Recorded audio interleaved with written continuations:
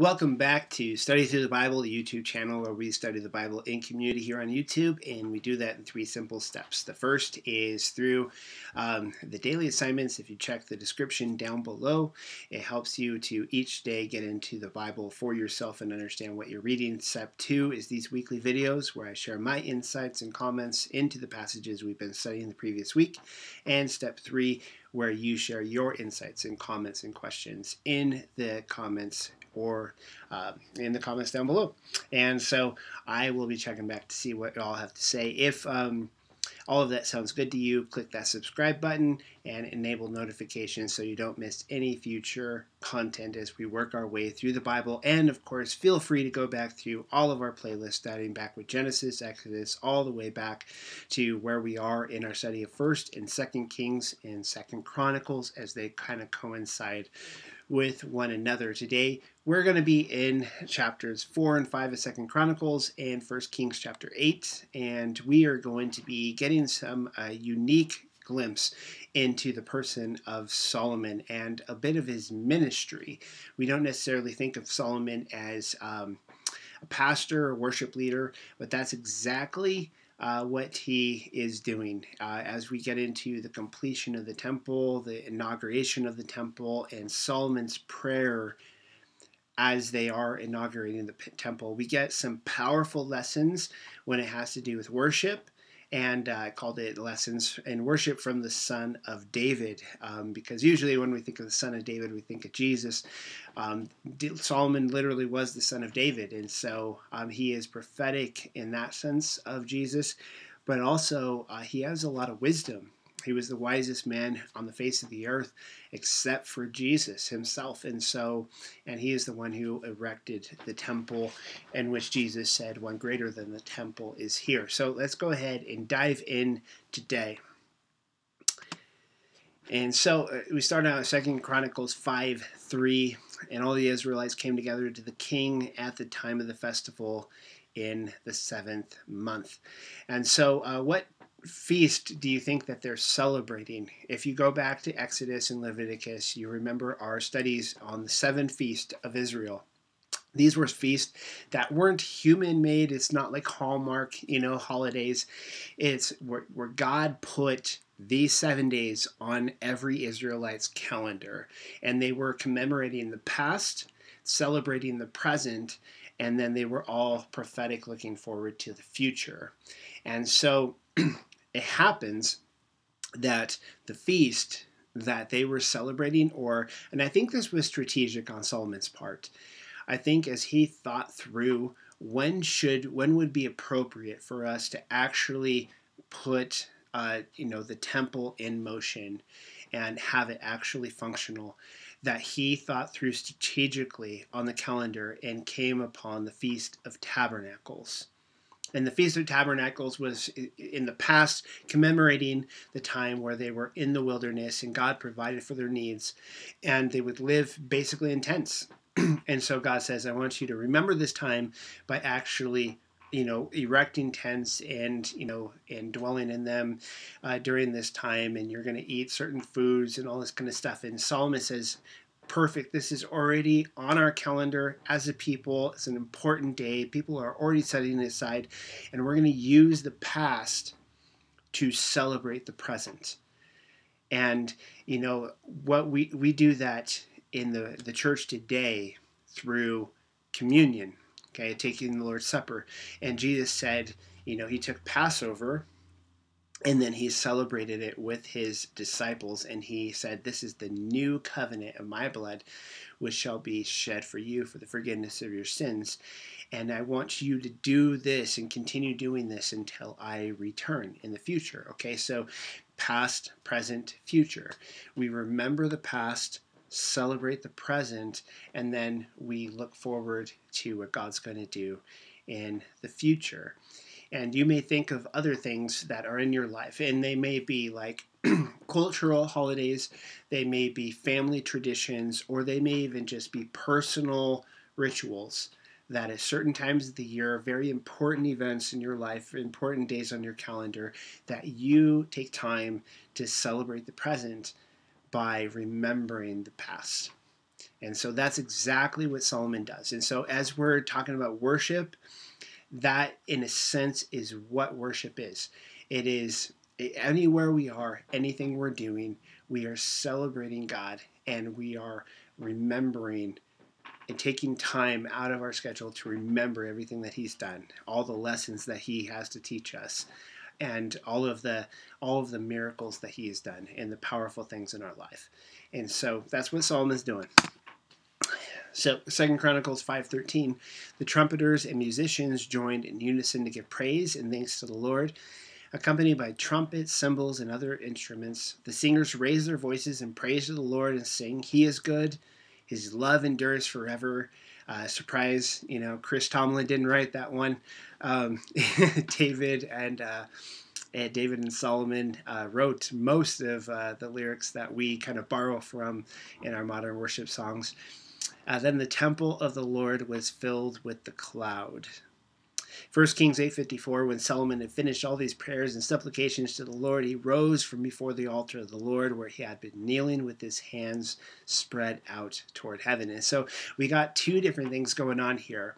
When I when we're talking about worship and I say it's not about how, I'm referring to you know different churches worship different ways. If you go to Sunday worship service or they might have Saturday worship service, you know, it's not about the how that they worship.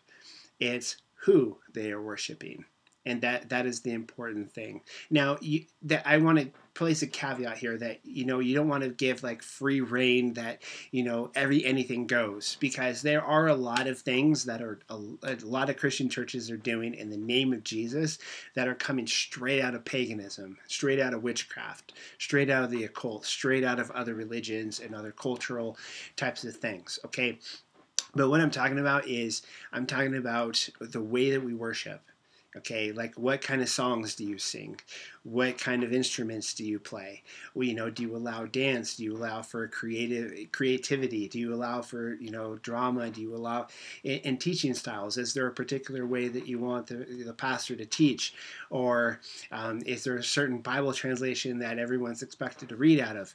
You know those kind of things don't ultimately matter. Okay, it's very clear. You know, I find it interesting, even when it comes to the conversation about instrumentation that there was a group of churches in American history called the Restoration Movement, and they sought to just go to the Bible. Like if they didn't find something in the Bible, then they didn't do it. And so this is like Churches of Christ, Christian Church, Disciples of Christ, and there's there's a lot of others um, who are within the bounds of Christianity and outside the bounds of Christianity, but still call themselves Christian, um, that are a part of that whole movement. Okay, now what I find odd is that they, in doing that, they went just to the New Testament and if they didn't find something in the New Testament, then they didn't even bother like examining contextually whether an Old Testament passage might be practical in terms of having an implication on the New Testament church. And one of those areas was in the in the deal of instrumentation. And so you might know that there's an instrumental Church of Christ and a non instrumental Church of Christ. And so the non instrumental group, it's funny because even in those groups, I've been to some of the church services, and as long as it's special music or like a solo, then they allow people to like play instruments. It's kind of funny how they have these loopholes and technicalities um, whenever there's legalism around. But uh, that, you know, just making a big deal out of those kind of things is really petty. It's really like legalistic. It's missing the whole point of why why we're there, why we're gathered to, together there. And then the second thing, um, when you know Solomon. Uh, it says, when he finished all these prayers and supplications to the Lord, he rose from before the altar of the Lord where he had been kneeling with his hands spread out toward heaven. Okay. And so when you think about prayer, when you think about worship, what kind of posture do you do you find yourself thinking about? Do you think about somebody kneeling? Do you think about somebody sitting with their, their arms, you know, folded, head bowed, you know, reverent? Uh, do you think of silence? Do you think a lot of a, a lot of noise? Do you think of hands towards heaven? Do you think of what do you think of? Because you hear me say, I well, the people in my church hear me say all the time that I want you to worship in the way that the Lord is leading you to worship. And so, if that means that you're going to kneel, or if you're going to stand, you're going to have your arms raised, if you're going to be bouncing up and down, okay, like it doesn't doesn't matter. Okay, the posture isn't important. It's who you are worshiping, who you are focused on. And so we sometimes miss that, and we need to get back to that in our mindset. Second Chronicles 5:14 it says and the priests could not perform their service because of the cloud for the glory of the Lord filled the temple of God. Now, I, this when I talk about like weird practices that you know some churches do.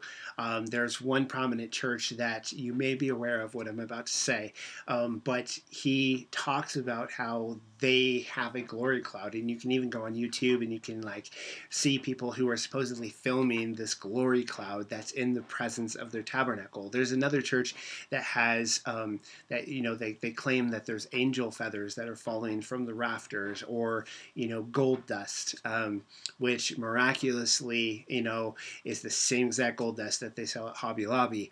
Um, but uh, all sorts of different things that some of these churches do to, you know, try and get people to believe that God's presence is there and he's moving and he's active and so he's going to do some powerful things like you know heal people and um, you know, like he, he's there to restore and heal and do all these miraculous things.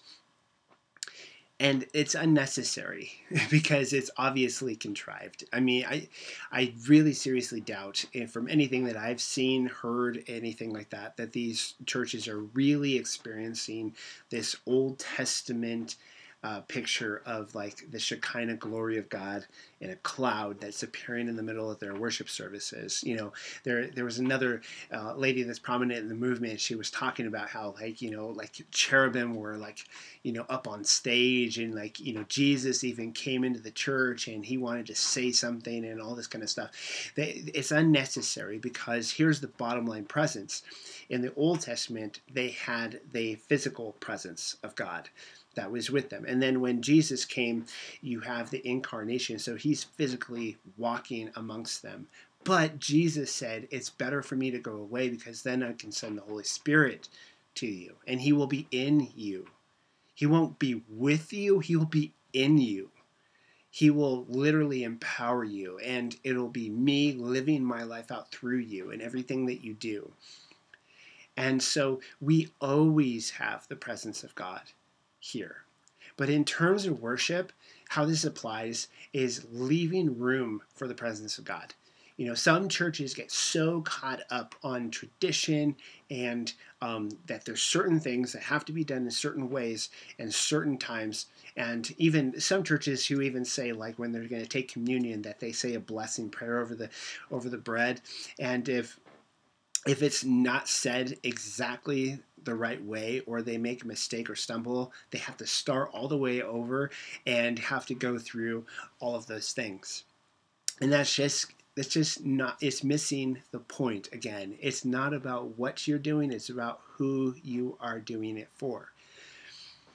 But in reference to like this script in the church calendar and you know like certain elements that have to be present in every single worship service that um, again, I feel like we're missing the point because sometimes we don't. We we're so scripted in terms of our worship of God that we actually miss what God is actually doing in the midst of us in in the, in the midst of a worship service.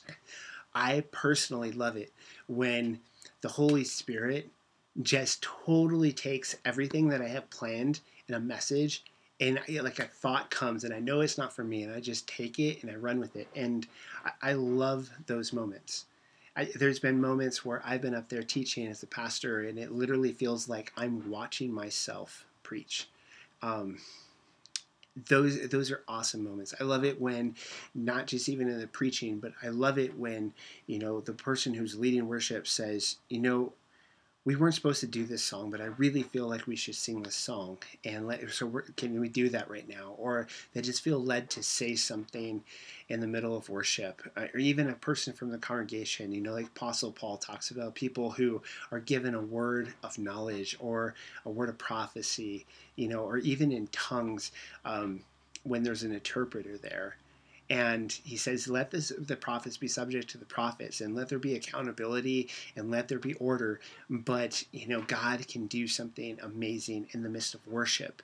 And i love that. And uh, if you if you've been to my church, you know we do uh, our worship service differently than a lot of churches do, and in fact, you know tomorrow morning or on Sunday morning, I should say, um, I'm going to be having communion at the very start of the service because of the very first point that we had in the message. Okay, and a lot of churches wouldn't even give room to do something like that, doing something that's relevant to what is going on um, when it's relevant. And so you're actually like, you're living out and applying the story right there. You know, we sing songs, you know, that have to do with what we're talking about. We show video clips that have to do with what we're talking about and, you know, looking to implement, you know, different people's creative gifts in the midst of the service when it's relevant to what's going on in the text you know be that drama or art or you know testimony or all those types of things and um, i love it because it's just leaving room for the presence of god to act and work in the midst of our worship and in the midst of our life.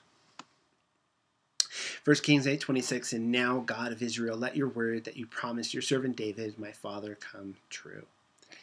And so this is Solomon uh, doing something that you see often in the pages of the scripture. They are reading scripture and then they are reciting it back to God and saying, God, remember your promises, remember what you said, remember and or even praying it into their life. So if you're reading about, you know, um, reading about prayer or reading about um, a certain character, fruit of the spirit, right? Love. Let's just take love. Okay. And you're reading about love and taking time and stopping and praying, God, I want to be more loving. I want to be more loving. And just taking whatever it is that you are reading about in God's Word and a step in applying that is just expressing the desire to want to apply it or expressing a desire to have the desire. And I know that sounds a little bit weird, but sometimes the reason why we don't apply these things is because we honestly don't want to. and at least acknowledging that, confessing that, taking responsibility for that.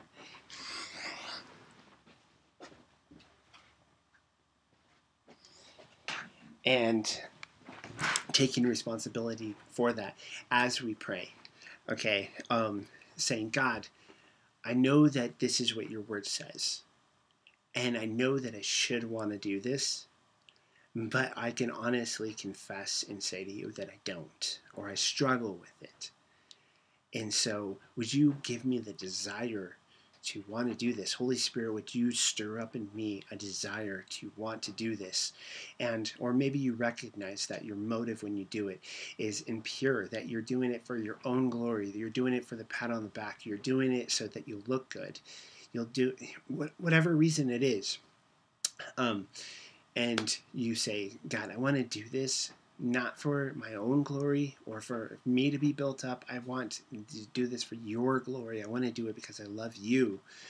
I want, and so it that so often our prayers are just centered around you know things that we need, things that we want, um, and they, they're good. God cares about those things. He wants us to pray for those things, but we oftentimes miss those elements of thanking God for who He is, and we uh, miss those elements of like actually praying for the things that are probably most important to God's agenda in our life, which is like conforming us into His image for His glory.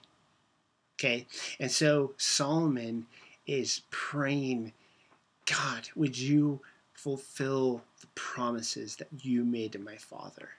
Would you fulfill your promises you gave us in your word, your scripture? Pray in the word of God. 1 Kings 8:27 But will God really dwell on the earth? The heavens, even the highest heaven cannot contain you, how much less this temple I have built. And again, you know, Third Day didn't write these lyrics. This is Solomon, okay? Um, but in the character of God, Solomon's about to open, inaugurate the temple. And as he's praying, he is aware of how absurd the idea is that, like, oh, we built you a house, God. We built you a house for you to dwell in and for you to meet with us. And he's thinking, he's acknowledging, God, you're you're everywhere. You are everywhere. You are. We call that omnipresent, which means that you are literally able to be everywhere at once. And you know, David said it this way. He said, you know, if I go to the highest heaven, you are there, and if I go to the lowest depths, if I run, you know, to the depths of Sheol, you are there. Where can I hide from your presence and from your spirit? And so Solomon's saying, like, God, how marvelous is it that the God of the universe, the God who inhabits everything, who created the heavens and the earth, that you would honor us enough, that you would think highly enough of us and of our worship and our devotion to you, that you would make yourself present within this place that there is a place that we physically can go to, that we can offer sacrifices, that we can meet with you, that we can pray to you, that we can get, get to know you and hear your word and and sing your praises. How awesome is that? Now, we have to keep in mind that this is not something like when we meet for church, for worship, we're not meeting in the house of God in the same way that um, the temple was literally the house of God. Okay. you know, I say it all the time, you know, we, we learn as children that, you know, here's the church with the steeple and inside open it up and here's the people. Okay. And that's wrong. Okay. It should say, here's the church who are the people i'm trying to do this on camera uh, inside the church with the pretty steeple okay because the reality is that when it talks about the household of god it's talking about people it's talking about us as the church people collectively who are called out of darkness into his marvelous light they are called into assembly together and that is what it means to be the church Okay? And so we don't have this same kind of thing. When it does talk about the temple of God in the New Testament, who is it talking about? It's talking about us individually, privately, but it also refers to the, the collective church as the temple of the Holy Spirit. And so it's both both and. But even we would not be so arrogant as to say, well, if God indwells me, then he must not be indwelling you or he can't still be in heaven you know we we know and acknowledge that god is everywhere he is not contained by his creation he can manifest himself within his creation in many different ways as he wants to you know in the middle of worship service he can be in the mid in indwelling us he can be inhabiting our praises, as he says in the in the Old Testament. Okay, he can be where two or three are gathered in the midst. I will be in there in the midst of you. Okay, he can, at the same time, be manifesting himself in a miracle. You know that's being done, and if he wanted to, then he could physically, you know, appear in the midst of us if he wanted to. But most of the time, let's just acknowledge most of the time, that's not how he does it anymore because he indwells us. He doesn't need to do all of these powerful things. We don't need a priest. We don't need a prophet. We don't need a temple anymore because we have direct access 24 7 to come boldly before the throne of grace. 1 Kings 8:33 When your people Israel are struck down before the enemy because they have sinned against you when heaven is shut up and there is no rain because they have sinned against you, and shall turn again to you, and confess your name and pray, and make supplication unto you in this house.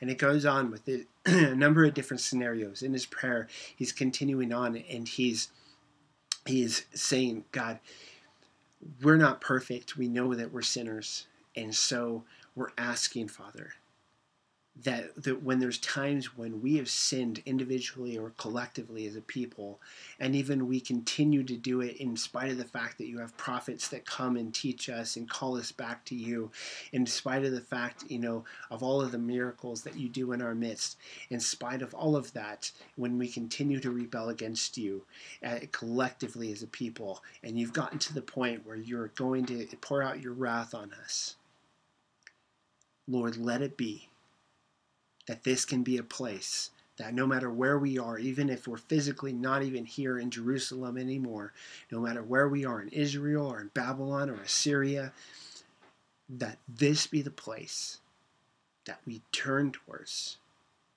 and we call out your name and we repent.